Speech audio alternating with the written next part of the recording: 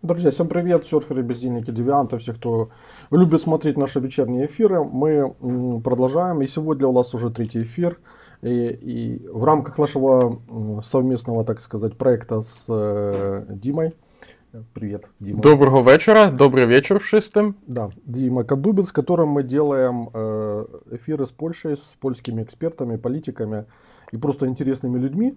И сегодня у нас будет, э, я думаю, интересная беседа с э, бывшим директором Белсата Агнешкой Ромашевской-Гузы, которая э, достаточно долго возглавляла этот канал. В Украине он известен, он вещал и вещает на Беларусь.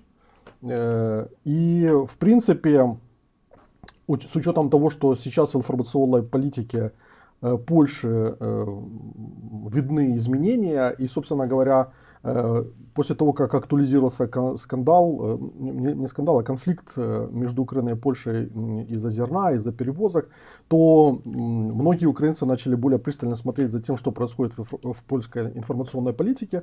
И для себя открыли массу интересных тенденций. Вот об этом мы поговорим с нашей гостью. Добрый вечер. Вечер добрый. Добрый вечер. Скажите, пожалуйста, ну, з чого, Діма, ти. Да, я давай, ще давай. додав би. Е, Добрий вечір, е, пані Агнешко. Bardzo nas cieszy, że pani do nas zawitała. Ja też ще додам е, для наших відзов українських о пані інформації об Белсаті.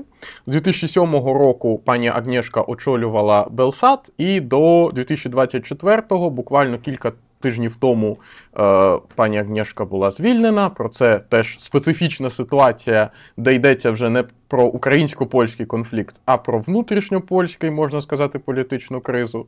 І відзначимо, що одне з найбільших бюро Белсату знаходиться з 2023 року у Києві.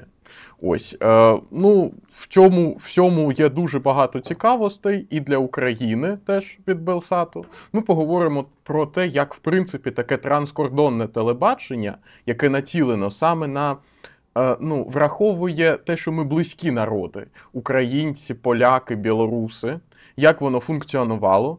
Пані Агнєшка саме так його розвивала, що це е, не просто якесь закордонне телебачення, а це для наших от сусідів. Ну і пані Агнєшко, я думаю, розповість про Белсат, те, що ми маємо знати, якби, як він зародився, і як як тепер обстоять справи у Белсата вже без пани Агнешки. Насколько, насколько это дорогое удовольствие для государства? Потому что в Украине постоянно э, ходят э, разговоры, к сожалению, дальше разговоров это не, за, не заходит под, э, о создании своего какого-то международного канала. И в этом плане я считаю, что Польша ну, достигла определенных успехов, потому что Белсат э, действительно является э, ну, серьезным каналом, который, э, в общем-то, заметен и который, которому прислушиваются. И я сам в том числе там время от времени там смотрел передачи и ко мне а, обращались за комментариями. Поэтому это, ну я как медийщик, я понимаю, что это сложная задача создать вот такой проект. И и в том числе и собрать ресурсы под э, его э, финансирование. Мы, мы как медийщики это прекрасно понимаем. Вот. Насколько это дорого и насколько это э, трудоемко как бы там вот э, было создать такой канал? Znaczy w ogóle telewizja, a zwłaszcza a zwłaszcza taki, taka platforma multimedialna, to jest droga sprawa, to jest kosztowne, bo y, trzeba sobie powiedzieć, że tutaj kosztuje jakość, bo można oczywiście y, siąść tak jak ja teraz tu w pokoju i coś nagrać, ale jeżeli się to robi w studio, jeżeli się ma tych programów ileś, jeżeli się próbuje robić y, programy w kilku językach, a tak robił Bielsat, tak robi Bielsat cały czas, jeżeli do tego dochodzą portale internetowe, jeżeli do tego dochodzi no cała, y, cała duża grupa ludzi zajmujących się y, sieciami społecznościowymi, social mereży, prawda? Tak chyba po ukraińsku się powie. To jeżeli kto jeszcze cała grupa, która zajmuje się tym, dojdzie do tego, jeżeli dojdzie cała ekipa, która zajmuje się, my mamy, Bielsat ma 13 kanałów, chyba 12 albo 13 na YouTubie w tej chwili, to jest cała ekipa, która zajmuje się tym YouTubem, no to to jest y, około 300 ludzi to to jest naprawdę duże przedsięwzięcie i to sporo kosztuje. Oczywiście ile to jest dużo, to bardzo zależy od, od proporcji. To znaczy, jak na E, znaczy, Bielsat kosztuje bardzo mało w porównaniu do tego, ile kosztuje na przykład, mm, no nie wiem, e, Radio Swoboda, czyli na przykład, nie wiem, Current Time, prawda? Ja sobie szacowałam, ile Current Time kosztuje, no to myślę, że on kosztuje tak co najmniej jedną trzecią więcej, pomimo iż jest kanałem tylko jednojęzycznym, czyli po rosyjsku. No ale to po prostu zależy od tego, jak oszczędnie się to robi, jak się, jak się takie coś robi. No a jeśli chodzi o trudność, jak trudno jest to założyć, to bardzo zależy od świadomości klasy politycznej w danym kraju, że to jest potrzebne. I tu jest bardzo często bardzo trudno przekonać. A powiem, a powiem Wam dlaczego. Y, trudno jest przekonać polityków, ponieważ mm, zazwyczaj w takiej sytuacji to zresztą na Ukrainie wiadomo, chyba w Ukrainie wiadomo lepiej niż gdziekolwiek indziej, e, że telewizję zakłada się po to, żeby mieć siłę polityczną, bardzo często. A w każdym razie, nawet jeżeli się ich po to nie zakłada, to się je w ten sposób wykorzystuje. E, I tak jest też w jakiejś mierze, przynajmniej do pewnego stopnia w Polsce. I, ale niestety dla, niestety dla tych, którzy tak chcą wykorzystywać telewizję, Y, naszych widzów, czyli na przykład widzów widzowie Bielsatu nie głosują w Polsce, prawda? Oni nie głosują na polityków w Polsce. W związku z tym zainteresowanie polityków w Polsce, zainteresowanie decydentów, rządu tego typu projektem, no nie jest takie łatwe wcale, y, bo to wymaga wyłącznie odwoływania się do no, racji stanu, do takich wyższej, do takich, jakby to powiedzieć, do kategorii wyższej użyteczności do takich wysokich y, pomysłów, a nie, a nie, tylko, a nie tylko po prostu bezpośredniego politycznego, politycznej użyteczności danego kanału. No i tutaj jest zawsze z tym problem. Ну и в этом плане э, получается, что польская элита не очень отличается от украинской, потому что э, здесь точно такая же логика. Зачем вкладываться в какое-то э, иностранное вещание, условно говоря, если это не даст электоральный эффект, и, и, и, sorry, и соответственно, э, Украина э, свой Белсат так и не создала. То есть есть какие-то каналы, э, вот, которые якобы там ведут какое-то внешнее вещание, но на самом деле это смешно, потому что в сравнении с тем, что там, чем является Белсат, ну, это абсолютно дилетантский уровень. У меня такой вопрос к вам как медийщику. А какие охваты были у Белсата? То есть вы понимали, условно, вот эта вот внешняя аудитория там в, в Украине, в Литве, в Беларуси, там особенно там, да, вот, э, она, э, она какой являлась? Вот сколько, сколько сотен тысяч, миллионов человек смотрели Белсат и смотрят? To bardzo zależy od, to bardzo zależy od sposobu dotarcia. To znaczy, po pierwsze, mamy zasięg satelitarny, czyli y, wejście do kabli, do kablowych, y, do kablowego na przykład zasięgu. Mamy na Litwie, mamy taki zasięg też y, częściowo na Ukrainie. No mamy też zasięg satelitarny. Na Białorusi oczywiście nie mamy kabla, bo ani w Rosji nie mamy kabla, ale mamy, ale mamy satelitę. Nie jesteśmy w stanie zbadać, ile osób ogląda satelitę. Wiemy, że ogląda ileś, dlatego że kiedy była ta białoruska rewolucja w 2020 roku, w pewnym momencie praktycznie wyłączono internet, a w każdym razie internet był tak wolny, że właściwie działał tylko telegram i tylko tekstowo praktycznie, nic nie przechodziło przez ten internet. I wówczas zauważyliśmy, że iluś naszych widzów wróciło do satelity, to znaczy zaczęli e, sprawdzać, gdzie u kogo można złapać ten Bielsat, żeby się czegoś dowiedzieć. Więc satelita jest takim backupem, to jest, taka, to jest taki sposób, jaki można docierać.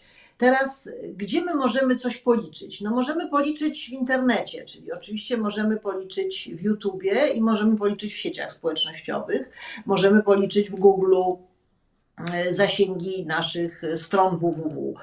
E, jakie to są zasięgi? No duże, duże. To trzeba powiedzieć tak, że jeśli chodzi o jeśli chodzi o Białoruś, bo mamy jakby te dwie części, jest część białoruskojęzyczna e, i część rosyjskojęzyczna. Jeśli chodzi o Białoruś, myśmy mieli niesłychanie duże zasięgi, ale to był rok 20. 20 i w zasadzie praktycznie w 21 to się zaczęło gwałtownie zmniejszać. W tej chwili Bielsat jest uznany za organizację ekstremistyczną, czyli bezpośrednio po prostu wszelkie, y, nawet oglądanie, już nie mówię podanie dalej materiału Bielsatu, na Białorusi jest karane więzieniem, bezpośrednio po prostu. Mamy takie przykłady. Nie mówiąc o tym, że danie jakiegokolwiek komentarza. W związku z tym, e, na przykład na Telegramie myśmy mieli około 100 tysięcy 100 e, tysięcy obserwujących białoruskojęzycznego Telegramu. W tej chwili mamy dwadzieścia kilka. To nam tak zjechało od 20 roku. Gwałtownie ludzie zaczęli się odpisywać. Znaczy wiemy, że ogląda więcej niż jest e, podpisanych, niż jest, niż subskrybuje kanał, niż jest podpisanych na kanał w Telegramie. Teraz tak, jeśli chodzi o YouTube, to białoruskojęzyczny YouTube Miał mm, troszkę powyżej pół miliona e, subskrybentów, w tej chwili ma 460 chyba tysięcy, to i tak jest bardzo dużo, bo Białoruś ma 9 e, milionów mieszkańców. 9 e, milionów mieszkańców, przy czym no teraz odliczmy mm, niemowlęta, prawda, małe dzieci, staruszków, no to myślę, że myślę, że te pół miliona subskrybujących to jest bardzo dobry wynik i my co więcej obserwujemy, bo to można stwierdzić, z jakich IP się ludzie logują, z jakich lokalizacji, że bardzo, wciąż jeszcze dwie trzecie naszych widzów y, kanału Bielsat, Bielsat News, bo to jest ten główny kanał informacyjny, loguje się z Białorusi co jest dla nas no, bardzo pocieszające, że jednak nie z zagranicy. I teraz są rosyjskie kanały. I te rosyjskie kanały, rosyjskojęzyczne, to jest nasza, nasz okręt flagowy. Yy, I tutaj my mamy, możemy to zmierzyć. No na przykład jakie, jakie mamy, yy, ja w tej chwili tak z pamięci nie powiem wszystkich naszych ratingów, ale to są, no to są grube dziesiątki milionów, yy, dziesiątki milionów obejrzeń miesięcznie i co więcej to są to już idzie w grube miliony unikalnych widzów, nie tylko obejrzeń, bo to trzeba sobie też wziąć pod uwagę, że trzeba sprawdzić unikalnych użytkowników, czyli ile właśnie numerów IP, prawda? Y, na przykład w przypadku, no na YouTubie mieliśmy o ile pamiętam teraz w przypadku tego aktu terrorystycznego pod Moskwą, to mieliśmy chyba y, milion dwieście tysięcy, ponad troszkę mieliśmy obejrzeń. Yy, I tak w zasadzie jest przy naszych głównych programach. Tak to wygląda i to jest unikalnych użytkowników mamy dobrych kilka milionów miesięcznie, tak 7 milionów, już nie pamiętam, to musiałabym to sprawdzić po prostu. Mamy taki dział specjalny, mieliśmy analityczny, nie wiem czy on przetrwa, ale mam nadzieję, yy, analityczny, który to po prostu cały czas mierzy. I podobnie jest z, i tutaj mamy widzów yy, skąd? Po pierwsze mamy widzów z Rosji to jest około ponad 50% widzów, to są widzowie z Rosji. Kilkanaście procent to są widzowie z Ukrainy. Y, no i też nieokreślona ilość to są widzowie z Białorusi, bo mamy też widzów z Białorusi przez VPN-y, sporo przez VPN-y. Mm, więc tego to trudno stwierdzić. Ale myślę, że to jest około 20%, ale mniejsza część. To jest paradoksalne, dziwne, ale jednak na tych międzynarodowych rosyjskojęzycznych informacjach tych białoruskich widzów jest nieco mniej, a najwięcej z rosyjskich, potem pewnie białoruscy i potem ukraińscy widzowie. Jeszcze jest w przypadku, jak mówimy o Kazachstanie, jest Kazachstan, jak mówimy o Armenii, to mamy nagle ormiańskich widzów, y, to też nam za każdym razem rosło. Ja, jak panowie widzą, ciągle mówię nam, bo ja ciągle się z tym jakoś identyfikuję. No ale, ale w każdym razie rozumiem przez to Bielsat. Także takie mniej więcej są te, są te ratingi. One są do pewnego stopnia mierzalne, ale nie do końca, bo zawsze satelita jest taką ciemną liczbą. A jeszcze mamy Smart TV aplikacje, aplikacje na telefon, bo Bielsat jest, Bielsat Smart można oglądać po prostu jak się ma aplikację na Androida albo na iPhone'a. Y, można oglądać po prostu też online i poszczególne programy można też oglądać i można Bielsat News też y, sobie ściągać. Są dwie aplikacje bielsatowskie. Zachęcam zresztą, Belsat Прошу пошукать в скlepach. Угу. Я посмотрел, э, ну вот я, я зашел на YouTube, посмотрел э, ваши каналы. Ну, в принципе, я могу сказать, что вы движетесь в правильном направлении, потому что ну, мне есть чем сравнивать. Я в 2021 году э, очень критиковал, значит, э, канал от АТР. Есть такой э, у нас крымско-татарский канал, э, на содержание которого Э, на содержание которого государство выделяло 2 миллиона долларов в год. Вот. И э, у меня была целая серия публикаций, где я показал, ну, что эти деньги там просто распили, ну, как бы воровались, потому что эффект э, был минимальный, там, Э, самый, самый лучший эфир у них э, набирал э, ну, меньше, чем у меня самый плохой эфир в тот момент, когда у меня было там на YouTube 1070 подписчиков. Там, да? вот. То есть они при бюджете в 2 миллиона долларов просто имели там несколько тысяч просмотров в лучшем случае, это было смешно. Я пошел вот сюда, сейчас у меня даже немножко больше, чем у Белсата, подписчиков 470, 463 тысячи, а у меня 474, по-моему. Вот. И я пошел посмотрел, вот в каком направлении вы движетесь. Ну, по-моему, все неплохо, потому что у вас э, много нишевых каналов. Я смотрю, что Белсат History, э, там достаточно много просмотров, там миллионные охваты есть, там Белсат э, э, тоже очень много набирает. То есть, в принципе, вот как профессионал я могу сказать, что э, ну, у вас ведется работа и у вас есть результат на лицо. То есть э, есть охваты, есть ниши, есть, есть системный подход. Э, это, это, это кидается в глаза. Вот, поэтому, кстати, вот какой бюджет был Белсата в год? Э, сколько, сколько государство тратило на его поддержку? И зарабатывал ли он что-то на рекламе? Я так понимаю, что, допустим, в Беларуси ничего, не, ну, там ничего не, невозможно. Ничего, там абсолютно все, все рекламодатели очень боялись. Także nie, nie, nie, nie. Y, nie mieliśmy żadnych szans na reklamę, mhm. na reklamę, także myśmy byli wyłącznie na dotacjach i. Bielsat jest do tej pory tylko na dotacjach, to jest głównie dotacja państwa polskiego, czyli MSZ-u polskiego. Trochę dodawała polska telewizja publiczna, osobno z budżetu. Mhm. Też mamy dotacje, y, pieniądze od y, amerykańskiego Departamentu Stanu troszkę, ale to jest stosunkowo nieduża część. To jest, Bielsat ma jakieś to jest, wydaje mi się, że nie więcej jak, nawet chyba nie 10%, to jest mniej, myślę, że około 5-6%. To jest y, łączny budżet, y, żeby powiedzieć, no nie wiem w jakiej walucie go y, przedstawić, ale generalnie w zeszłym roku, mogę powiedzieć, jaki był dokładnie, to jest, tylko też je do, jeszcze dodam, no tutaj pan, pan się pochwalił, że ma 60, 470, ale nasz kanał rosyjskojęzyczny WOTAK, Bielsatowski, ma milion dwieście tysięcy subskrybentów. Mhm. E, także, także, ten, także to są też, też jeden z, tych, z tego mhm. portfolio kanałów, prawda, mhm. różnych.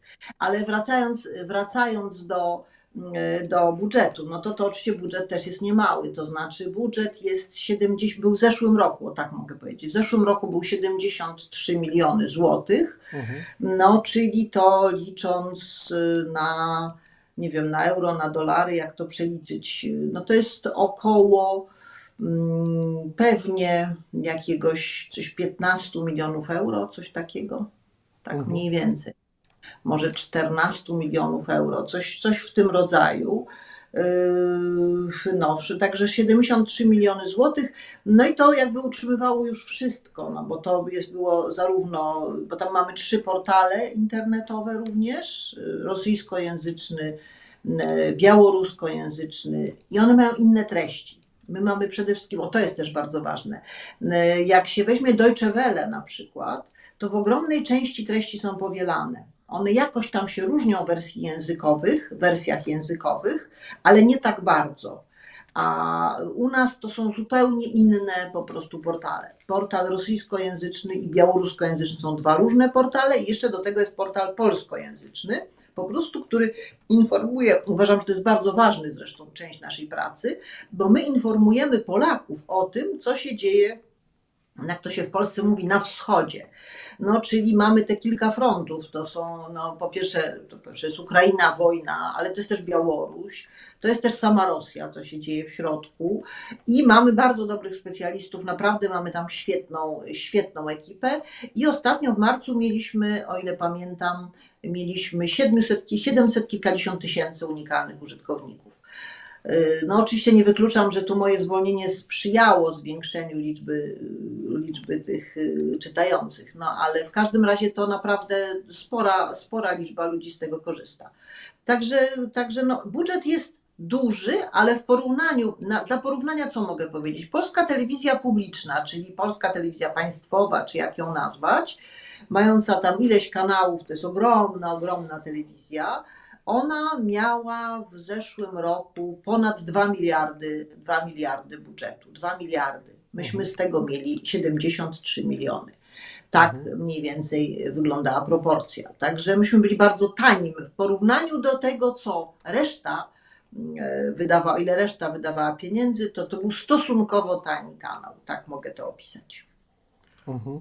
Так, я напевно зрезюмую трошечки українською. Да, для для українських глядачів трошки невелике резюме. Вот, е, то пройдусь по нотаткам по всіх якби ремарках пані Агнєшки. Ну, безумовно, що якість потребує грошей, і все це можна було можна робити, якби сидячи в, в кімнаті у себе щось знімати, і це буде теж цікаво. Але якісне телебачення потребує інвестицій, і ось бюджет, власне, біля 15 мільйонів євро у каналу е, у каналу Белсату був, коли е, пані Агнєшка ним керувала в річних, але це не так багато. Це десь 70 мільйонів злотих з 2 мільярдів злотих на загалом ТВП польське державне телебачення. Тут е, е, пані Агнєшка не перерахувала в євро, кому цікаво порахуєте.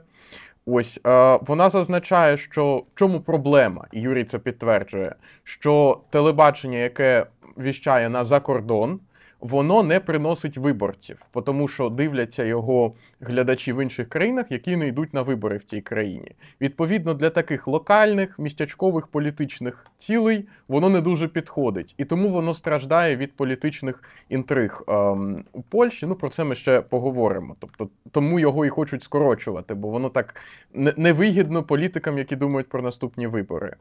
Ось 500 е, тисяч підписників з Білорусі. Е, на каналі близько мільйона двохсот тисяч із е, ну на російськомовному каналі, там переважно з Російської Федерації, також з інших країн, де дивляться російською. Наприклад, про Крокус був знятий фільм, його переглянуло 1,2, е, тобто мільйон двісті тисяч переглядів він набрав на російській мові. Також вона, пані Агнєшка, відзначає, що в кожній частині, тобто в кожній мов, кожному мовному сегменті, а а є польський, український, білоруський, російськомовний, по-моєму, англійськомовний сегмент, ідуть дещо різні вмісти. Тобто це не просто перекладений вміст на різних мовах, а це кожен канал, він якби автентичний. І загалом є 12-14 YouTube каналів у межах холдингу Белсат. Ну, и я вот э, как медийщик, опять-таки, повторю, что это, это, ну, это выглядит достаточно впечатляюще. Ну, это выглядит впечатляюще, потому что такое количество проектов и э, такое количество просмотров, оно, в принципе, за эту сумму, ну, более чем вполне, вполне адекватно и, и как по, по мне, достаточно эффективно, э, исходя из интересов польского государства. Э, Э, э, пані Агнешка, у меня такой вопрос. Э, вот на этом фоне, на, вот на фоне того, что Польша удалось реально построить свою такую внешнюю, внешнюю медийную империю, да, как, условно говоря, та же Россия, допустим, противодействовала этому. То есть Россия работала на то, чтобы как-то купировать вот ваше вещание в, в указанных странах. Россия и режим Лукашенко. Да, и Лукашенко, конечно же, и Лукашенко тоже. Угу.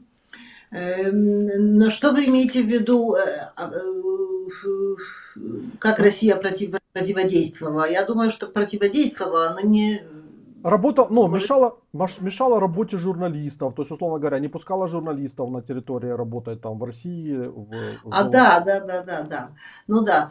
Tak, to jest, znaczy, to jest, to jest rzeczywiście, to w ogóle był ogromny problem. Znaczy, my w tej chwili w ogóle praktycznie nie mamy jawnych żurnali- dziennikarzy w Białorusi. To jest raz. W Rosji y, no, też nie mamy jawnie dziennikarzy, tam jeszcze ciągle mamy, mamy współpracowników w Rosji. oni też nie występ, w ogromnej większości nie występują twarzą, choć czasem się zdarza. To jest niesamowite, ale zdarza się, że oni jednak czasami występują twarzą również. No, ale to jest mocno niebezpieczne w tej chwili, bo to zakrawa od razu właściwie idzie, idzie mm, artykuł o dyskredytacji armii albo cokolwiek tego typu. Jeśli chodzi o Białoruś, to y, w tej chwili w więzieniach białoruskich znajduje się E, żebym policzyła dobrze, 14 naszych współpracowników. 14. E, oni są na różnych etapach, już po wyrokach albo w trakcie. W zasadzie w tej chwili nikt, e, no to jest ogromne ryzyko, takie fundamentalne, podstawowe ryzyko, że pójdziesz siedzieć. To pójdziesz siedzieć nie na dwa tygodnie, tylko pójdziesz siedzieć na lata po prostu.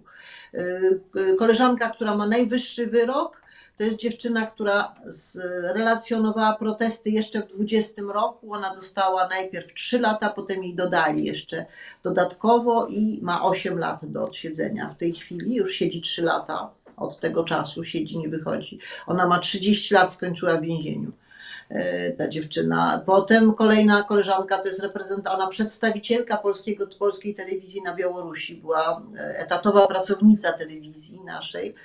Y, Iryna Sławnikowa, 5 lat została. Y, potem mój współpracownik, mój przyjaciel, bliski y, współpracownik, jak ja jeszcze pracowałam jako korespondentka na Białorusi, to 6 lat dostał. No i iluś, ileś kolejnych różnych kolegów, 4, 3 E, łącznie, jak mówię, jest w tej chwili jedna, mniej więcej połowa wszystkich więzionych dziennikarzy na Białorusi to są dziennikarze Bielsatu. Także tam to działanie w tej chwili jawnie tam, albo w ogóle działanie tam jest niesłychanie utrudnione. To jest super, super dyskretna sprawa.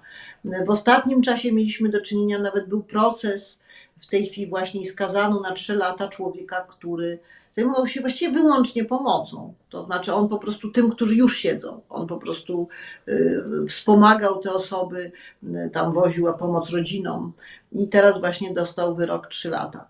Także tak wygląda represyjność tego reżimu.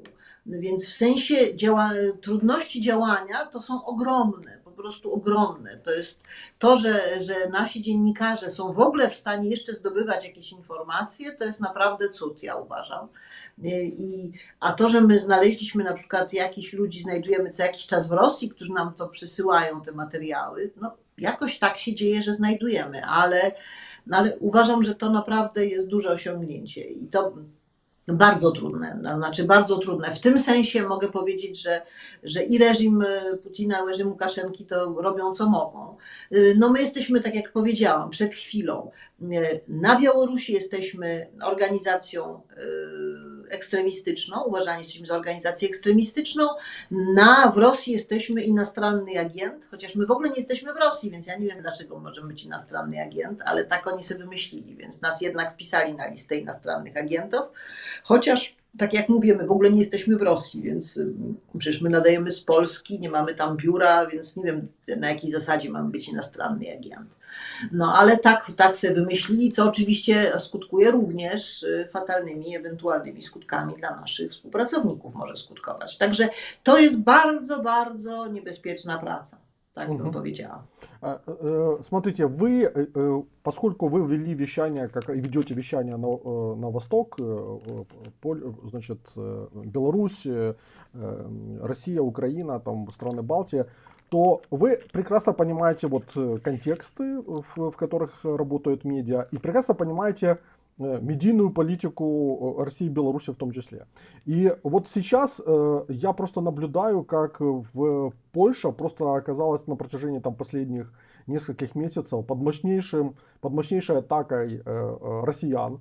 Потому что ну, такой вакханалии, который сейчас творится в польском фейсбуке и в других социальных сетях, ну, я просто никогда не помню. А я достаточно ну, достаточно давно наблюдаю за, э, за, за польскими фейсбуками, за польскими медиа. Вот. И, собственно говоря, э, во многих аспектах я вот смотрю, как э, польские граждане втягиваются в дискуссии, как ими манипулируют.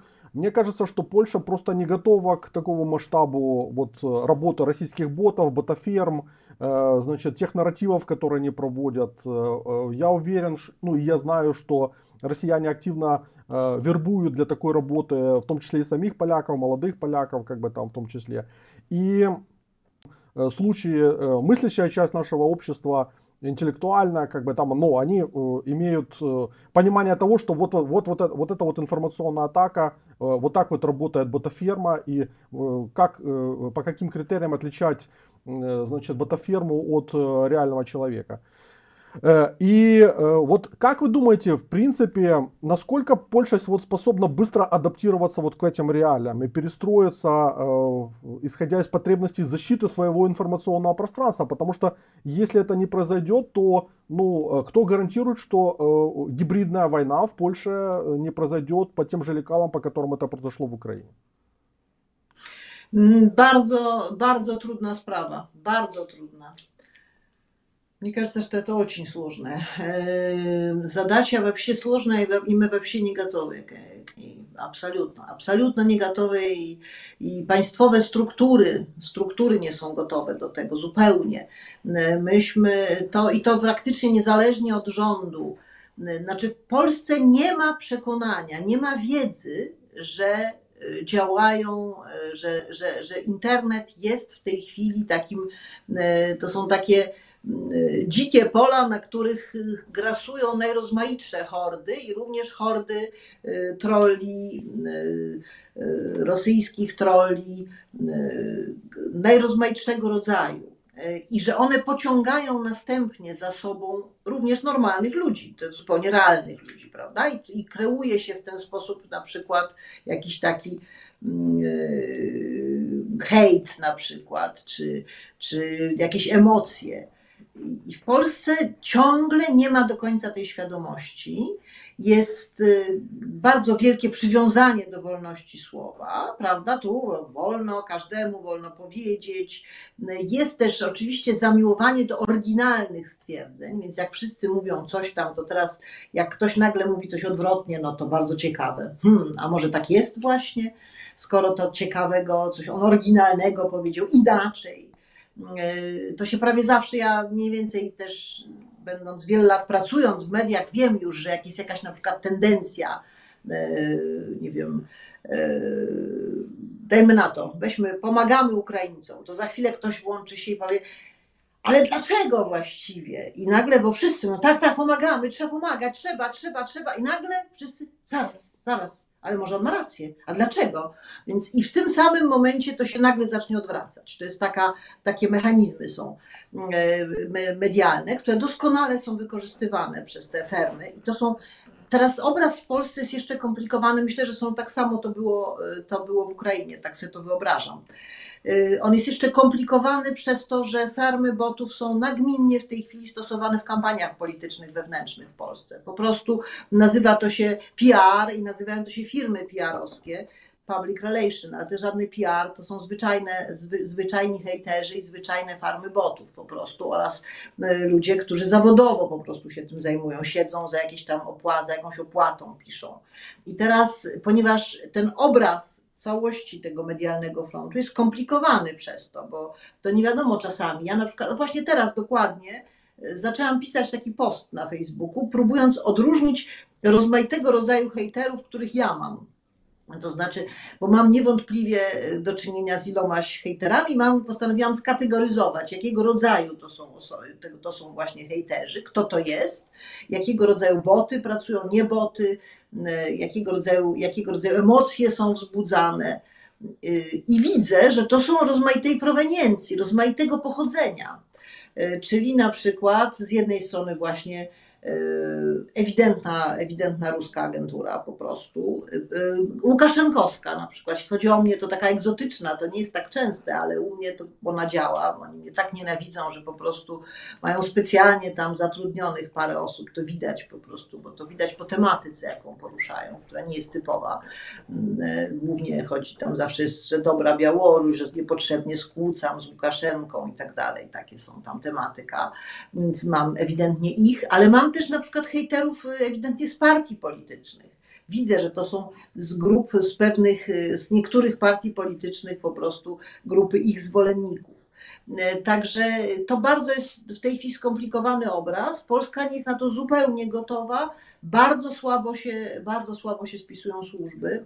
Tutaj miałam takiego kolegę, dobrego kolegę, mam wciąż jeszcze, który zajmował się między innymi wyłapywaniem tego typu, tych y, rozmaitego rodzaju, y, jakby to powiedzieć, tego rodzaju narracji, o narracji w sieci i śledzeniu skąd ona się bierze i dlaczego i naprawdę on był, znaczy amatorsko on to robił, to się nazywało piąta kolumna, piąta kolumna w Polsce, piąta rosyjska kolumna w Polsce.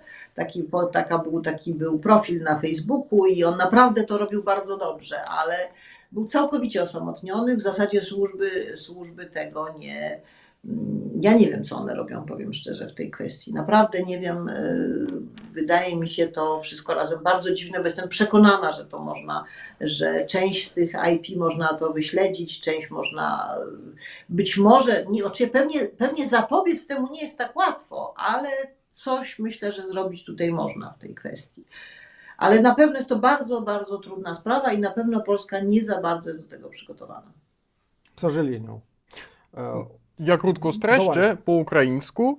В Польщі, точніше, в Білорусі зараз сидить кілька людей, журналістів, по-моєму, 15 було людей, які сидять із Белсату в в'язницях. І найбільше отримала дівчина 8 років ув'язнення за те, що вона якби працювала на Белсат. Е, в Білорусі він визнаний екстремістською організацією, в Російській Федерації іноагентом. Ну і відповідно нема явних журналістів, які би от напряму для Белсату від, відкрито працювали. Хоча є люди, які так чи інакше знімають якісь відео, роблять якісь е, матеріали на замовлення Белсату і передають його. Ну, звісно, всіх секретів не будемо е, розкривати. Щодо ботів, безумовно, Польща є не готова. Поляки слабко розуміють коли вони мають до справи з ботом, коли вони мають до справи з живими людьми. І от е, пані Агнєшка вже категоризує своїх хейтерів у себе в соцмережах, там які є ботами, які є білоруськими, які є російськими, які є внутрішньопольськими там опонентами, теж е, тяжка боротьба. І якби все це тяжко, Польща тільки зараз починає е, все це осягати. Ну, від себе хочу додати зараз, слава Богу, YouTube дуже швидко е, видаляє хейтерські коментарі. Якби він бачить, що вони повторюються, і вони потім зникають. І хоча б це вселяє надію, а надію на те, що польські якось е, і та й наші глядачі це швидко вчаться розрізняти, ну вони невеликі. Далі, е, пані Агнєшко, мам такого rodzaju питання, бо я Wczoraj oglądałem wywiad z Express Super, ja myślę, kanał i tam pani mówiła, że w 20 roku, kiedy była taka próba rewolucji na Białorusi, że bardzo wzrósło, um, wzrosło oglądanie i zasięg Bielsatu i też po 22, po 24 lutego 22 roku, po ataku na Ukrainę pełnoskalowym, też e, bardzo e, zaczęło rosnąć e, jakby oglądanie Belsatu I, i kto są ci ludzie i z jakich krajów, jakby no w 20 rozumiemy, to jest Białoruś, w 22 czy to idzie więc o Ukrainie, o Ukraińcach, którzy oglądają Belsat, czy też Rosjanie. I też w 23 e, zostało odmknięte biuro Belsatu w Kijowie.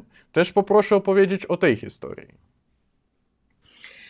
Y, w 20 roku to właściwie ja to, to mówiłam, y, mówiłam o tym, że y, czasami po liczbie subskrypcji, liczbie podpi, pod, na, na kanałach YouTube'owych można stwierdzić, jakie są nastroje społeczne, bo też widać, czym się ludzie interesują. I ja y, to, że się coś w Białorusi będzie dziać, zauważałam po tym, że nam gwałtownie wzrastała subskrypcja na białoruskim kanale naszym i to się zaczęło mniej więcej w y, końcówce 19 roku. Widać było, że tam coś jest już społecznie nie tak. Ja co więcej, ja rozmawiałam wtedy z polskimi decydentami, bardzo wysoko postawionymi osobami, które poddawały to w wątpliwość. Oni nie wierzyli. Mówili, nie, będzie to samo co zawsze, wybiorą Łukaszenkę. Ja mówię, nie, nie, to na pewno nie będzie tak, bo ja już widzę, że tam się coś dzieje. No ale oni przez długi czas temu, temu nie wierzyli, dopiero kiedy, się, kiedy zobaczyli, to, to się okazało, że jednak rzeczywiście mieliśmy, mieliśmy rację. No a co się dalej działo w momencie, i teraz tak, pierwsi rosyjscy widzowie z Rosji pojawili się u nas w trakcie białoruskiej rewolucji, bo tam się sporo ludzi interesowało tym. Może dlatego, że to się wydawało takie jakieś podobne trochę, ta Białoruś do Rosji, że może jakieś nadzieje budziła. Ja pamiętam, że Kac takie coś wygłaszał na przykład, pamiętam yy, prawda, ten bloger. No więc pamiętam, że właśnie o tej Białorusi, także nie, niewątpliwie ileś osób się tym interesowało. I, ale rzeczywiście najwięcej przybyło nam oglądających na tych rosyjskojęzycznych kanałach y, po, 20, e, po 24 lutego. I to była, i to są przede wszystkim widzowie z Rosji. To są przede wszystkim widzowie z Rosji. To jest ponad 50% widzów na, na tym kanale rosyjskojęzycznym. Także yy, widocznie z jakiegoś powodu wybierają nas. No nie inną telewizję, nie jakiś tam, już mając wyboru i dość, coś tam mogą jeszcze innego oglądać, prawda? Nastojaście właśnie, nastojaście время, a mogą oglądać, mogą coś jeszcze i może oglądają, ale w każdym razie na pewno też oglądają nas. Jeśli chodzi o, jeśli chodzi o yy, widzów ukraińskich, to nam pomału zaczęła też, znaczy ona się chyba w miarę stabilnie utrzymuje, chociaż troszeczkę rośnie nam liczba tych widzów ukraińskich nam rosła. To było w okolicach kilkunastu procent, kilkunastu procent widowni to są widzowie ukraińscy. I ja y, miałam taką koncepcję, dla mnie ona była bardzo istotna, mi się wydawało, że ona jest bardzo, bardzo interesującą koncepcją w ramach tego właśnie nadawania, y, w ramach łączenia państw sąsiedzkich jakby. Ja nie miałam nigdy pomysłu, bo były takie też y, takie idee, żeby wejść na rynek ukrainojęzyczny, to znaczy, no żeby zacząć również nadawać po ukraińsku. My prowadzimy Facebook po ukraińsku, to jest jedyna rzecz, którą robimy po ukraińsku. Natomiast ja doszłam doszłam do wniosku, że nadawanie ukraińskojęzyczne to jest bez sensu, dlatego że jest tak nasycony rynek. On przed wojną to po prostu był przesycony, tam było za dużo wszystkiego. I one to już się wszystko dusiło, te telewizje się dusiły po prostu. I w tym sensie ja doszłam do wniosku, że nie mamy co szukać na ukrainojęzycznym, że na Ukrainie jest wolność słowa jest i nie ma co się tam bawić w ukrainojęzyczny przekaz, bo to już sami Ukraińcy się go tam zrobią. Natomiast, natomiast jeżeli coś moglibyśmy zrobić i mogło to być interesujące i ciekawe, to myślałam o przekazie rosyjskojęzycznym, dlatego że mm, doszłam do takiego wniosku, znając jakby doświadczenie, czerpiąc z doświadczenia, że przynajmniej następne 20-25 lat co najmniej będzie jeszcze na Ukrainie cała duża grupa ludzi, która będzie przyzwyczajona do spożywania to się tak ładnie mówi po polsku, spożywanie kontentu, czyli pół po polsku, pół po angielsku, spożywania kontentu medialnego mm, e, po e, rosyjsku. Są przyzwyczajeni do oglądania informacji po rosyjsku, do wymieniania się opiniami po rosyjsku. Po prostu są do tego przyzwyczajeni i będą mieli skłonność do sięgania po tego typu przekaz. I w tym momencie tego przekazu na Ukrainie jest stosunkowo mało. I w takiej sytuacji tam jest nisza, w którą można wejść, jeżeli byśmy się bardziej zainteresowali również kwestiami ukraińskimi, czysto, no nie tylko wojną oczywiście, ale też, co jest bardzo skomplikowane, bo na Ukrainie jest taki sam bałagan polityczny, jak i w Polsce, może teraz tylko, że tam jeszcze dodatkowo jest wojna. Także mm, ja zawsze twierdzę, że pod tym względem jesteśmy bardzo podobni do siebie. Natomiast, y, natomiast, y, natomiast generalnie wydawało mi się, że to jest interesujący pomysł i dlatego myśmy już dawno temu założyli to biuro, bo po pierwsze biuro nam jest potrzebne ze względu na to, że tu się dzieje, no, trudno sobie znaleźć w tej chwili ważniejsze miejsce, prawda, z punktu widzenia wschodniej Europy, y, gdzie się dzieją, gdzie się dzieją, gdzie, znaczy ważniejsze pole informacyjne we wschodniej Europie niż tu. No najważniejszym jest Ukraina, co tu dużo mówić.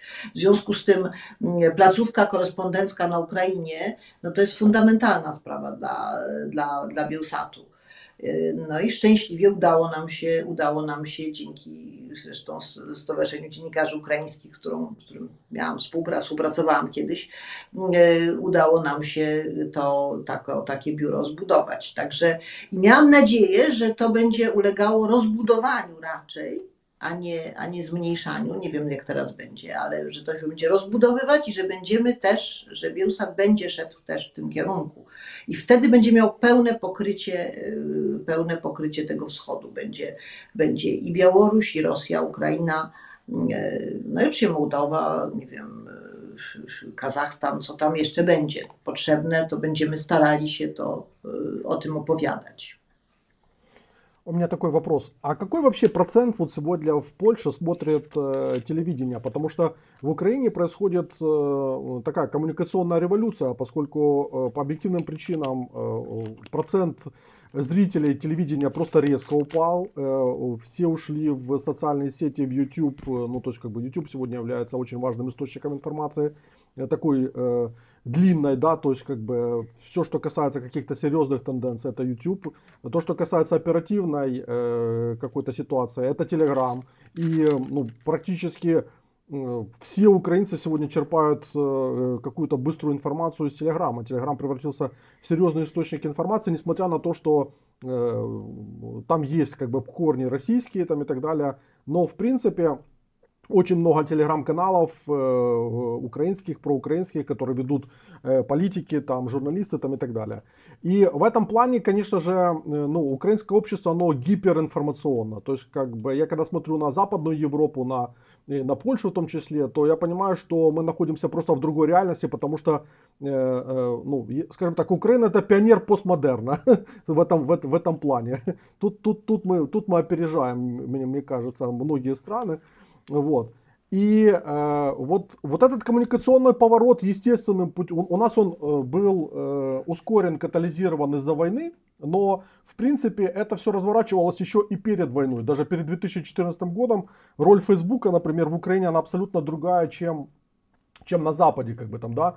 У нас э, Твиттер никогда не имел таких позиций, как Facebook, э, а потом как, э, а потом Facebook заменил Telegram. Вот. И точно так же сейчас э, телевидение заменяет YouTube, потому что э, площадки, YouTube-площадки очень интенсивно развиваются. И, ну, как бы миллионники, полумиллионники, сейчас в Украине это, ну, как бы их очень много.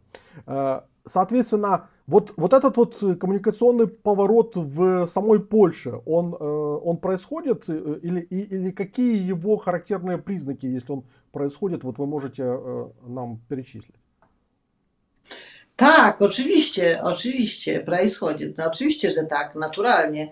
Tyle, że, tyle, że no on, on się, on trwa, on toczy się w naturalnym trybie, w naturalnym trybie, czyli w trybie, no przede wszystkim to jest młode pokolenie. Młode pokolenie w tej chwili praktycznie nie ogląda telewizji. I to już nie tylko ludzie 20 lat, 20 parę, ale już ludzie 30 plus nie oglądają telewizji. E, telewizja jest w zasadzie e, medium oglądanym tak e, powyżej 40, a nawet 50. To jest 50 plus w największym stopniu. To jest przede wszystkim medium, medium ludzi starszych w tej chwili, aczkolwiek wciąż jeszcze, no mimo wszystko, to jest medium istniejące, to są media istniejące. Mm, istotne, zwłaszcza telewizje informacyjne. W Polsce są silne telewizje informacyjne, jest silny TVN24, jest Polsat News, y, no i jest y, Info, to jest państwowej y, stacji, informacyjna, informacyjna stacja państwowa. Mm, więc to jest, jest taka cała, cała grupa. Ale też właśnie trwa tak jest taka, myślę, rewolucja trochę. E, w Polsce w ogóle nieznany jest praktycznie Telegram. E, praktycznie jest nieużywany, znaczy bardzo mało jest znany. To jest używany, bardziej specjaliści od wschodu go znają i używają. Natomiast w Polsce w ogóle się Telegramu nie używa, natomiast używa się Twitter, a Twitter jest z kolei skrajnie spolityzowanym. To jest taka, to jest taka, mm, taki plac, płaszczatka, na której się awanturują polityczne y, takie kohorty, takie te oddziały, to tych, to tamtych, awantury są nieustanne, ale jeżeli chce się szybko podać informacje, to się podają na Twitter. I wtedy wszyscy dziennikarze, którzy są tam podpisani na ten Twitter, są, to oczywiście natychmiast tą informację będą mieli. No Facebook, który przez jakiś czas był bardzo ważną y, taką też polem wymiany, wymiany takiej społeczno-politycznej, y, to przestał nim być, dlatego że Zuckerberg o to bardzo dba, żeby nie był za bardzo, więc y, żeby tylko człowiek widział swoich, swoich 40 y, znajomych na co dzień, a resztę nie mógł zobaczyć, więc pod tym względem algorytmy bardzo zjadają tutaj rolę Facebooka. Natomiast no oczywiście ja i YouTube bardzo wyrósł, bardzo wyrósł YouTube. YouTube jest rzeczywiście ważny. W tej chwili na przykład w Polsce jest takie zjawisko jak kanał Zero. To powstał po prostu rodzaj takiej telewizji YouTube'owej, to praktycznie całej telewizji, z zestawem programów. Założył taki jakby to być internetowy celebryta, dziennikarz sportowy, mm, Krzysztof Stanowski założył to i to się rozwija bardzo interesująco, bardzo ciekawie.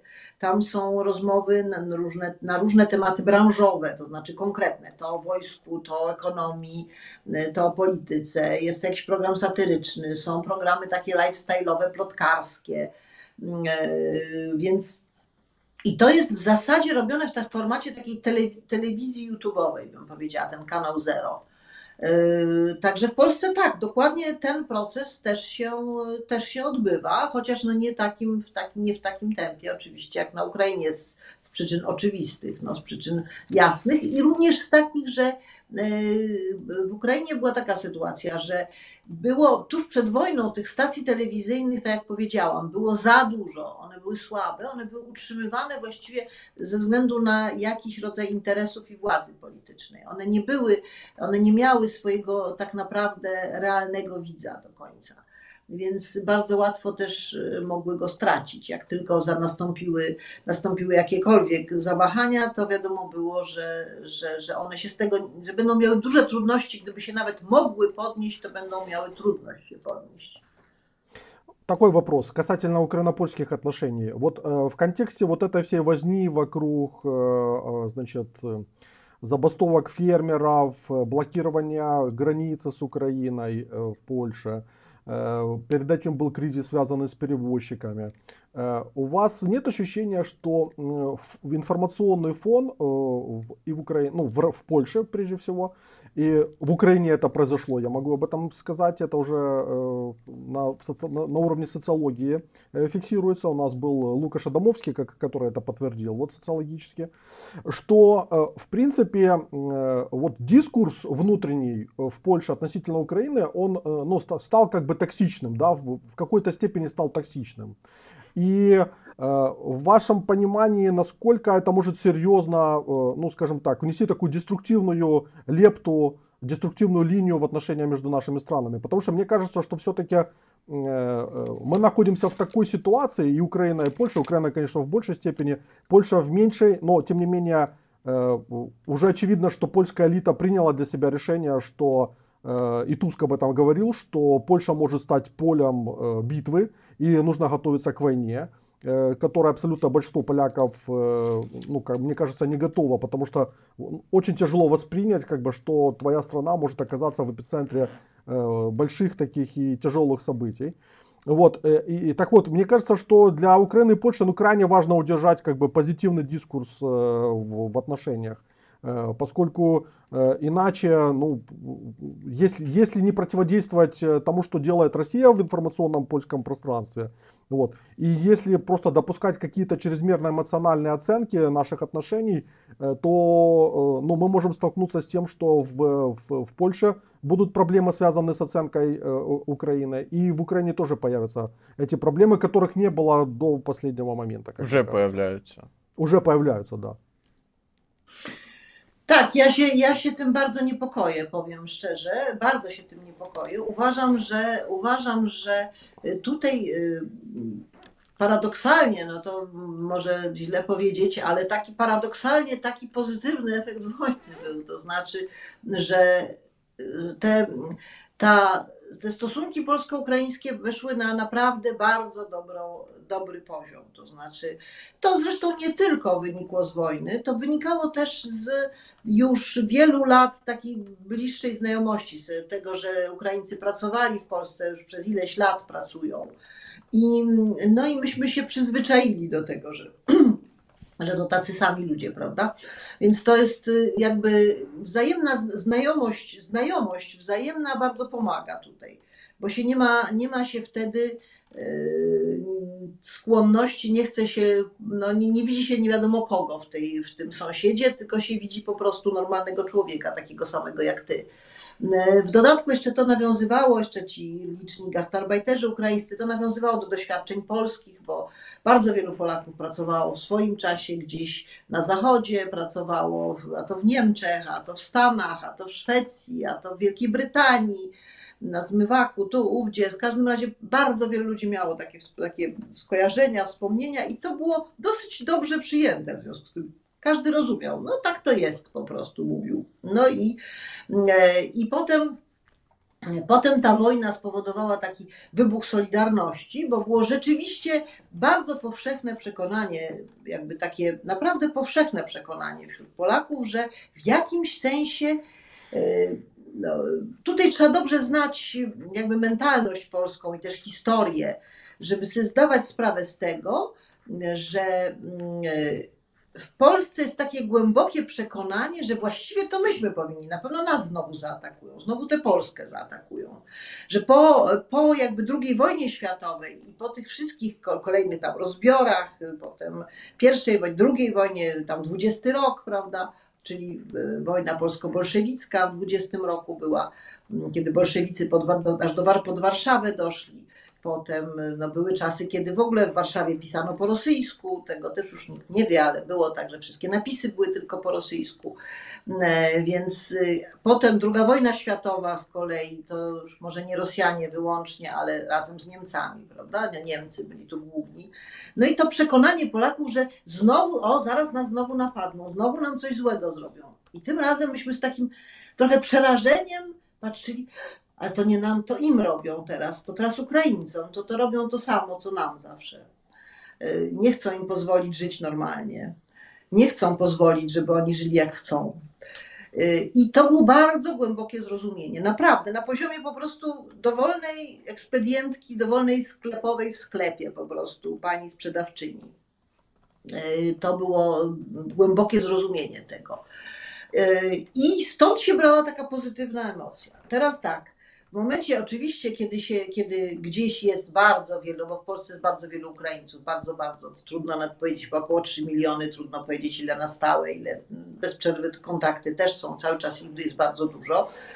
Jednocześnie prowadzi się jakąś, jakiegoś rodzaju negatywną propagandę, a ona też jest cały czas obecna, zaczęła być obecna. Na początku jej nie było, a potem zaczęła być tak wsączana pomaleńku no to oczywiście ona zyskuje, y, jakby to powiedzieć, zyskuje takie chętne ucho, dlatego że e, dlatego że chociażby też z takiego trochę zmęczenia tym pozytywem, za dużo już tego dobrego. Ile można dobrych rzeczy? No już dobrze, już żeśmy pomagali, no już wszystko dobrze, przyjaźnimy się, już starczy, starczy.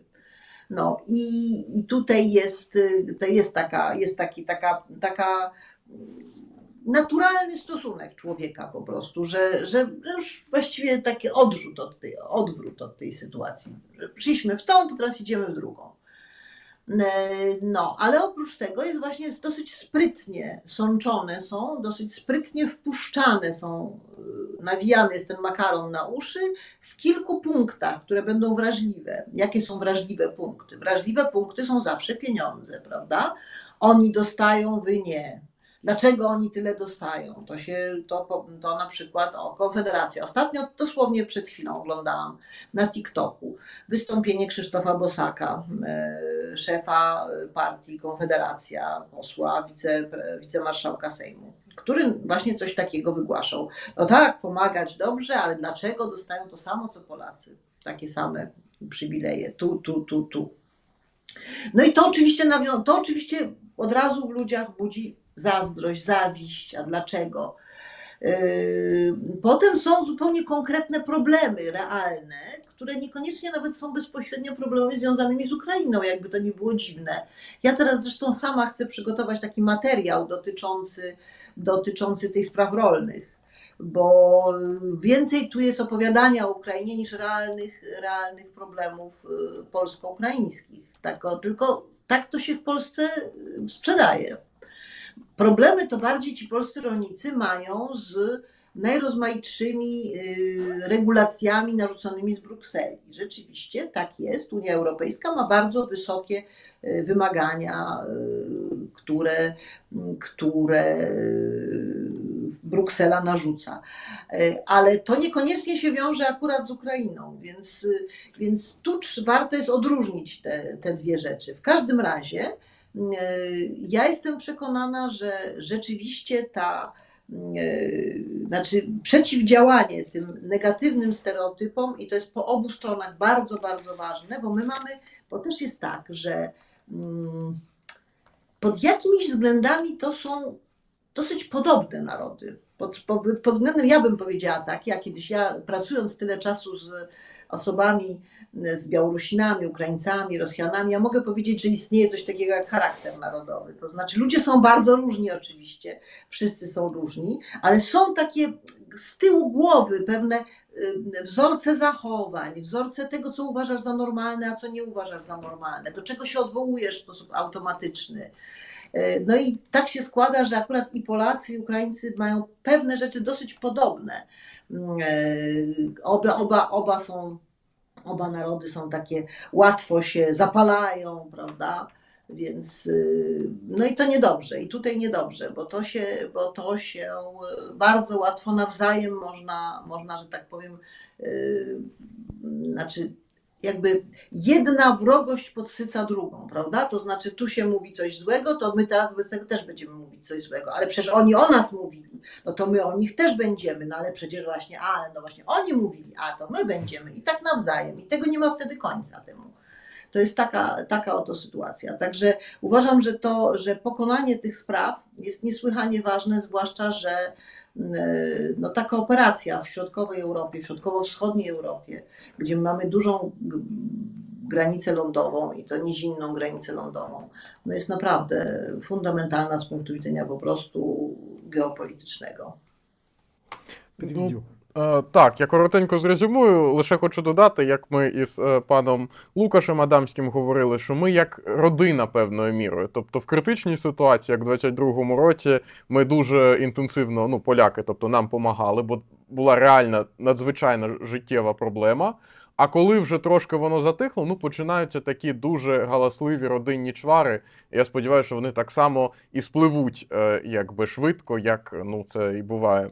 Е, коротенько зрезюмую те, що було сказано. З 19-го року вже пані Агнєшка звернула увагу, що щось буде відбуватись в Білорусі. Почалось почали інтенсивно нарощуватися перегляди і глядачі саме в білоруській аудиторії. І, звісно, це продовжилось у 2020 році, коли в Білорусі е, відбувалися активні протести. Потім дуже активний приріст відбувся у 2022 році, і більше це йдеться вже саме про російськомовний контент. І більше 50% це із Російської Федерації саме перегляди. Щодо України, пана, е, пані Агнєшка до вторгнення російського не думала сильно входити на ринок, бо він і так був пересичений. Зараз, безумовно, коли є цей телемарафон, і в принципі, ну вже далеко не такий пересичений ринок телебачення в Україні, е, є ідея. Ну, зокрема, пані Агнєшка думає, щоб е, російськомовне телебачення, яке так чи інакше протягом кількох десятиліть будуть активно в Україні оглядати, щоб воно зростало в Україні. І в це міг е, Белсат власне скеровуватись. Ну, ми поговоримо про сьогоднішні обставини Белсату, теж внутрішньопольської кризи. Е, що стосується, е, що стосується значить, переходу від телебачення до соціальних мереж. Ну, безумовно, в Польщі це відбувається трошки повільніше, ніж в Україні, бо криза медіа так не відбулася сильно, як вона відбулася в Україні. Але це теж відбувається, і після 30, до 30 мало хто дивиться телебачення, в принципі. Е, і Фейсбук плюс-мінус на такому ж рівні популярності, може трохи менше, як в Україні. Значно популярніший Twitter, колишній, е, теперішній X, е, і так далі. Ну тобто цей процес іде. Е, до війни було дуже багато українців у Польщі. Відповідно, завжди знали поляки, що є українці, це наші якби сусіди, і тому відношення адекватне до українців ще до великого вторгнення було. Зараз є небезпечна тенденція у цих антиукраїнських е, трендів, але як ми вже казали, це ну, це можна подолати. Тобто, в принципі, базове відчуття, і про це е, пані Агнєшка говорить: є народний характер. Він у поляків, у українців, у білорусів досить близький. Ми якось емоційно один одного розуміємо, і е, в цьому є, я думаю, засада, е, засада нашого порозуміння. Е, я хочу продовжити своїм питанням, перейшовши трошки до внутрішньопольських реалій, пані Агнєшко. Ось е, у нас якраз глядач наш писав Данил е, Мошак, що питання до вас: як ви оцінюєте журналістику в Польщі? Який рівень розслідувань, подачі інформації, правильності постановки питань? Е, І щоб це не сходило на той рівень, який є в Україні. Тут я хочу до вашої особистої історії перейти. Тобто, кілька тижнів тому вас звільнили з посади е, директорки Белсату, як ви неодноразово зазначали, в дуже дурний спосіб з особистої помсти. Ну, ви вчора казали в інтерв'ю, це відбулося. І як би відчувається, отеж такий, ну.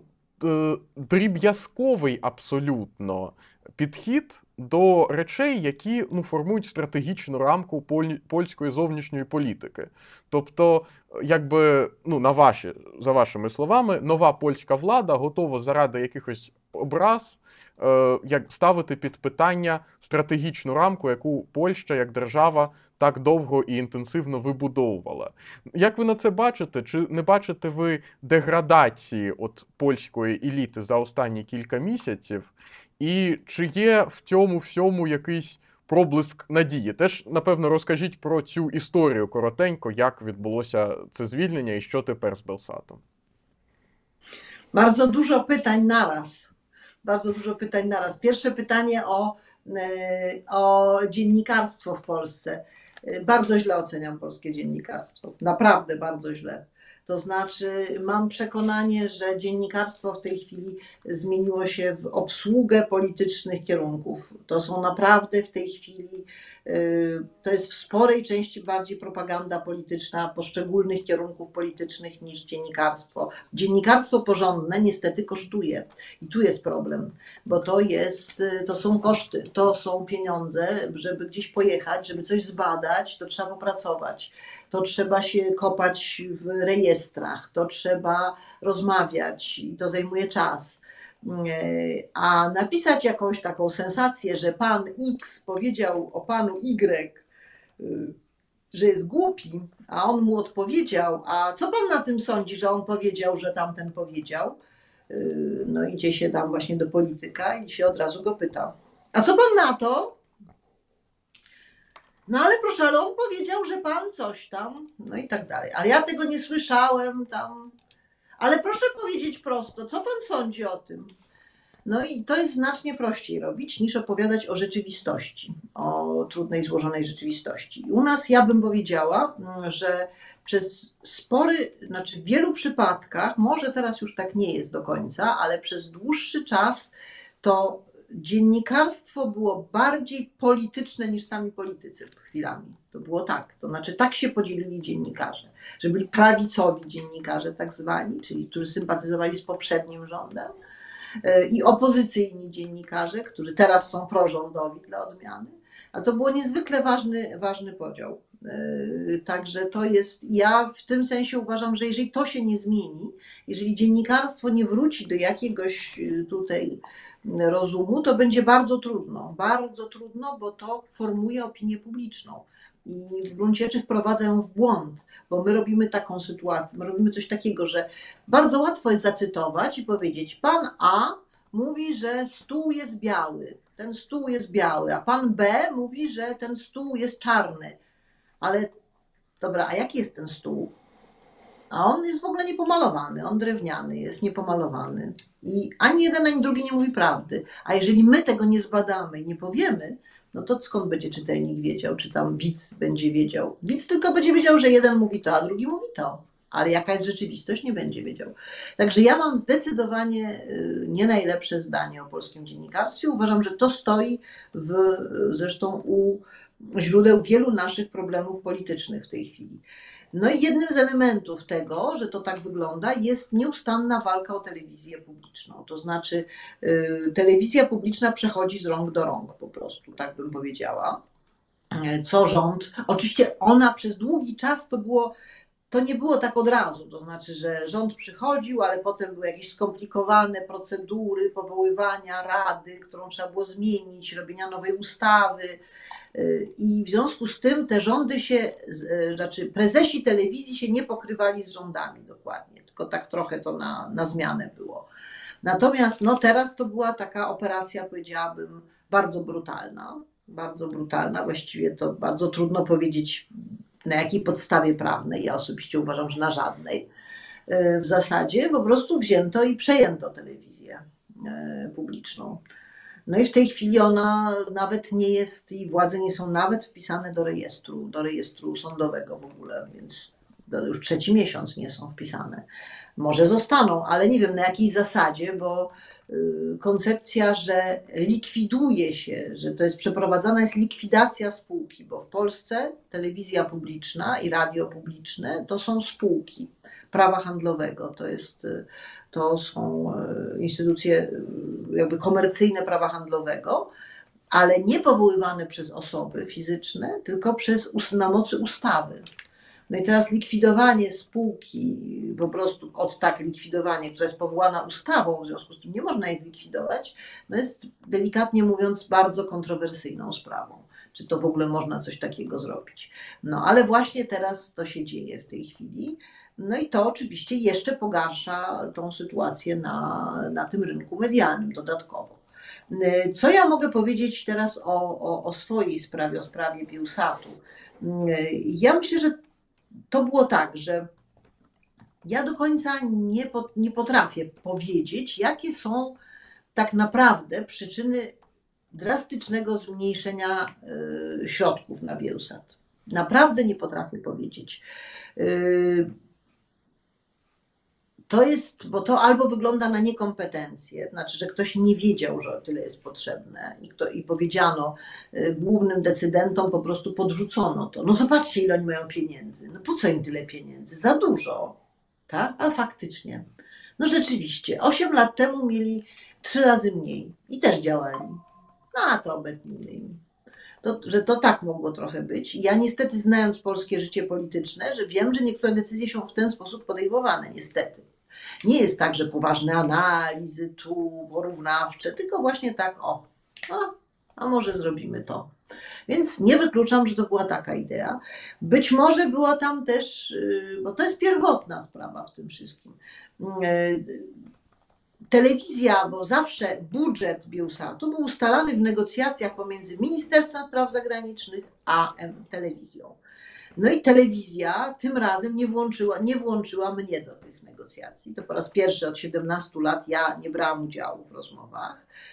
I telewizja zaproponowała jakąś taką dosyć dziwną koncepcję, że mm, e, za te pieniądze, które MSZ ma na sprawy międzynarodowe, na różne międzynarodowe nadawanie, to założy się taki rodzaj polskiego Polniszewele, czy jak to nazwać, no takiej wielojęzycznej stacji, gdzie będzie i po angielsku, i po niemiecku wszystko.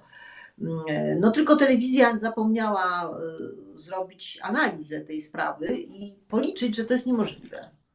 Bo to jest całkowicie niemożliwe i każdy człowiek, który choć trochę coś wie o mediach, to wie, że za tą sumę, która tam była, która tam była przeznaczona na, e, w budżecie na ewentualne media na zagranicy, to akurat na Bielsat wystarczało jeszcze na parę innych elementów, ale na dużą telewizję wielojęzyczną to nie starcza, którą trzeba założyć od zera. Anglojęzyczną na dodatek, bo native speakerom anglojęzycznym nie zapłaci się tyle, co pracownikom Bielsatu. Niestety, tylko trzeba co najmniej dwa razy tyle. Więc y, taka jest y, brutalna rzeczywistość po prostu. No, więc tak wygląda y, tak wygląda jeden, jedna z koncepcji, że być może po prostu taką przedłożono koncepcję ministerstwu i dlatego ministerstwo to wybrało. No, zła, zła, zła odpowiedź na to, taka, której bym bardzo nie chciała, żeby to była prawdziwa odpowiedź, to jest taka, że Polska po prostu nie chce, że nie bardzo ma ochotę prowadzić aktywną politykę, że co innego to jest mówić, że mówić to można wiele i można opowiadać, i można mówić, i ten, a robić to jest coś innego. Ja zresztą mam tutaj niepo, znaczy pewien niepokój. Ja się rzeczywiście niepokoję, dlatego że widzę, jak na przykład, y, jak, jak wyglądała jak wyglądały zapowiedzi dotyczące granicy, dotyczące w ogóle współpracy polsko-ukraińskiej, y, dotyczące rozmaitych tego typu rzeczy i widzę, jak to słabo idzie na razie, póki co. Może jeszcze pójdzie, ale na razie bardzo tak, na realia to się przekłada dosyć słabo. Więc y, i to jest moja, y, to jest moja duża obawa. No i mam nadzieję, że to nie o to chodzi. To znaczy, że to nie o to chodzi, że Polska po prostu y, uważa, że to kłopotliwe prowadzić taki projekt i po co, tam, po co to robić. Mam nadzieję, że to nie, nie taka jest idea za tym, że to bardziej jest niekompetencja stoi za tym. I teraz tak, w momencie, kiedy zmniejszono budżet Bielsatu tak drastycznie, ja oczywiście zaczęłam protestować e, bardzo ostro. No i w związku z tym no, naraziłam się oczywiście od razu szefostwu telewizji, kierownikom telewizji i e, w MSZ-cie. Wiadomo było, jednocześnie wiadomo było, że ponieważ ja już pracuję w telewizji 32 lata, pracowałam, a szefową Bielsatu byłam 17 lat, no to mam pewną pozycję, prawda? W związku z tym będą, będą mnie słuchać, jak ja to będę mówić. No i w związku z tym spadła taka, myślę, że wpadła taka myśl, że już dosyć tego, to już trzeba Romaszewską od tego odsunąć. I pomysł powstał, że najlepsze będzie, no bo bardzo trudno mnie było zastąpić na tej, na tej, w tym firmie innym Polakiem, powiedzenie, że jak ja to prowadzę 17 lat i mam jeszcze rozmaite pomysły rozwojowe, no to inny Polak to lepiej zna niż ja i lepiej to będzie robił, jest dosyć tutaj takie ryzykowne. No, mało kto by w to uwierzył. Natomiast już powiedzenie, że a to musi przecież być Białorusin, najlepiej, żeby to był Białorusin, no to oczywiście taki, y, takie wytłumaczenie jest łatwiejsze do przyjęcia. No i w ten sposób, i w ten sposób rozpoczęto poszukiwanie kogoś z Białorusinów na szefa tej stacji, co moim zdaniem zresztą jest nieporozumieniem tak naprawdę, uczciwie mówiąc, z punktu widzenia polskiego, dlatego że to jest stacja, która jest, że tak powiem, polską, polską miękką siłę na wschód reprezentuje. I niezależnie od tego, kto będzie stał formalnie rzecz biorąc na czele stacji, to tutaj przyjaciele Białorusini moi się mogą rozczarować, bo to i tak będzie decydować y, polskie ministerstwo po prostu, tylko albo za moim pośrednictwem, albo za pośrednictwem kogokolwiek innego. Ale to po prostu oni dają pieniądze i to oni będą, że tak powiem, zamawiać muzykę. Tak się brutalnie mówi, że kto płaci, ten zamawia muzykę. No i taka będzie, i tak to mniej więcej będzie wyglądać. No ale w każdym razie tutaj właśnie taką, takich zmian dokonano. No a ponieważ ja się nadal na to nie zgadzałam, usiłowano mnie, usiłowano spowodować, żebym się zwolniła na własną prośbę. No a ja już powiedziałam, że na własną prośbę to nie, to na pewno nie. Yy, proponowano mi w związku z tym odprawę. Ja z kolei, mnie zależało na pewnego rodzaju rozmowach z ministerstwem i z telewizją, które by zapewniały przyszłość tego projektu. Żebyśmy ustalili, jaka jest przyszłość tego projektu, żeby tego projektu nie rozbijano bardzo mi na tym zależało. No ale rozumiem, że moje sugestie, że takie rozmowy by były ważne, nie zostały właściwie zrozumiane i głównie zaproponowano mi y, tak zwany złoty spadochron, czyli odpowiednią odprawę, coraz większą. Ja się nie godziłam, to mówiono, a może jeszcze większą by było. No i ja ostatecznie tej odprawy nie przyjęłam i potem znowu opowiedziałam o wszystkim publicznie. No i tym razem już się rozumiem, że postanowiono się na mnie zemścić i szefostwo telewizji się zachowało jak się zachowało, to znaczy postanowili mnie zwolnić dyscyplinarnie. No i w tej chwili jestem w trakcie sprawy sądowej z telewizją. Tak to, tak to w tej chwili wygląda. Mam nadzieję, że jednak sprawiedliwość zwycięży, bo ja uważam, że to nie jest tak, żeby człowiekowi po, po 18 latach ciężkiej pracy należało się dawać zwolnienie dyscyplinarne. Uważam, że to jest bardzo zły znak dla innych ludzi. Это ваша история напоминает укра... типично украинские истории и в том плане, что в Украине тоже идет такая же борьба за контроль над государственным телевидением, государственными медиа.